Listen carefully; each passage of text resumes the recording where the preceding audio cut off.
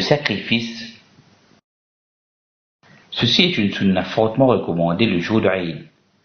Elle signifie tout ce qui était immolé le jour de l'immolation parmi les animaux dont la viande est licite pour se rapprocher d'Allah, exalté soit-il. Allah exalté soit-il a dit Accomplis la salat pour ton Seigneur et sacrifie.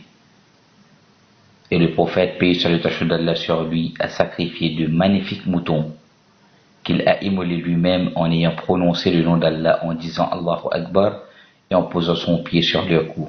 L'heure pour le sacrifice commence après la prière de Eid et continue jusqu'au coucher du soleil du dernier jour de Ayyam al-Tashriq, qui sont le onzième jour, le douzième jour et les treizièmes jours du mois de Zulhijjah.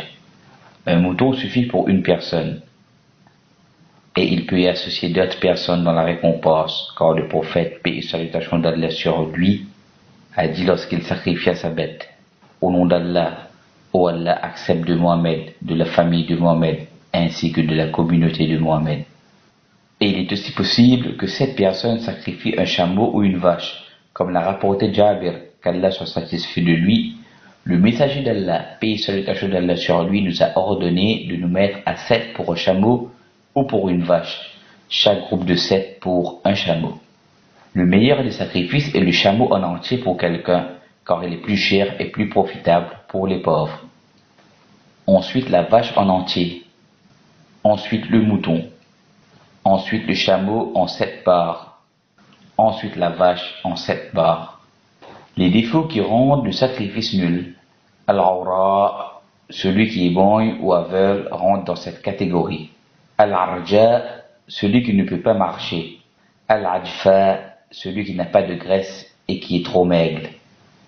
Et aussi donc que la maladie est apparente.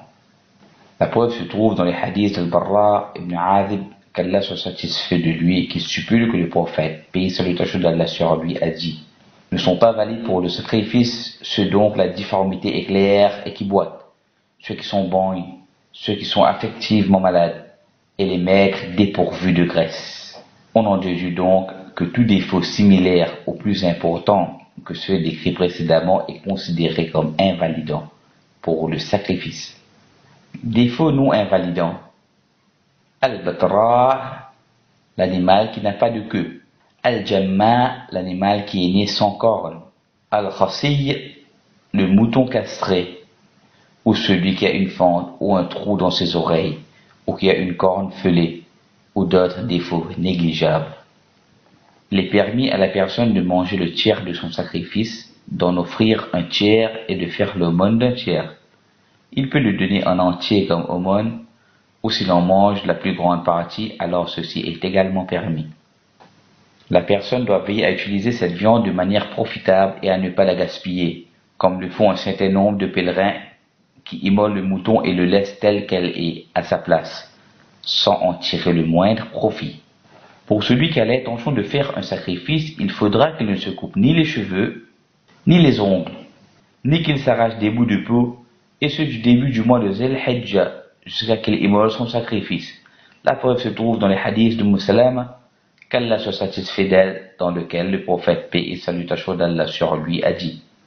Lorsque débutent les dix premiers jours du mois de Zulhijjah et que l'un d'entre vous a l'intention de faire un sacrifice, alors il ne doit toucher ni à ses cheveux ni à ses ongles. Quant à ceux dont le sacrifice est accompli en leur nom pour Allah comme la femme et l'enfant, alors aucun de ces interdits ne les concerne. Les dix premiers jours de Zulhijjah sont des jours pleins de vertus, où les actions y sont multipliées. Le prophète, paix et d'Allah sur lui, a dit il n'y a pas de jour que les bonnes œuvres sont plus aimées à Allah que ces dix jours. Ils disent, même pas la guerre dans le sentier d'Allah Il paie salutation d'Allah sur lui dit, même pas la guerre dans le sentier d'Allah, sauf une personne qui quitte sa maison avec son corps et son bien et n'en revenait avec rien. Il est fortement recommandé d'augmenter les actes d'adoration et l'évocation d'Allah exalté soit-il, la lecture du Coran et la charité, tout comme le jeûne sauf le jour de Eid, et le meilleur parmi ces jeunes est celui le jour de Arafat, sauf pour le pèlerin, car il lui est pas recommandé de jeûner.